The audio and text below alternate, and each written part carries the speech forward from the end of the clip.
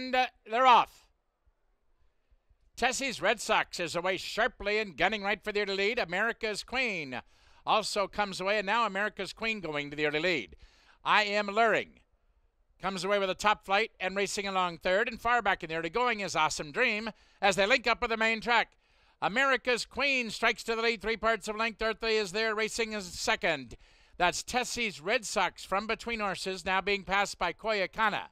Up on the outside, and Lemon Water attacks toward the rail. Inca Princess on the far outside. Then it's a length and a half farther back to the heavy favorite, Candy for All.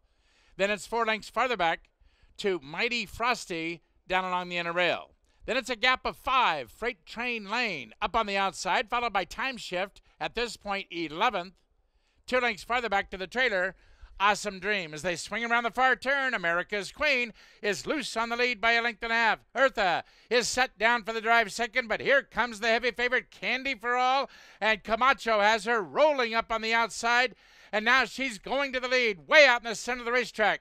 That's Candy for All with the lead. America's Queen is a tiring second.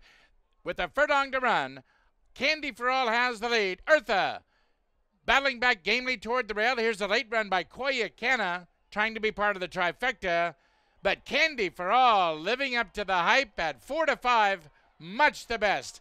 Tight for second between Eartha and a fast closing Koyakana.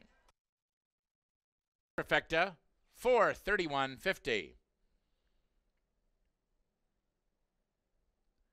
The pick three, 229.70, and there will be a high five carryover.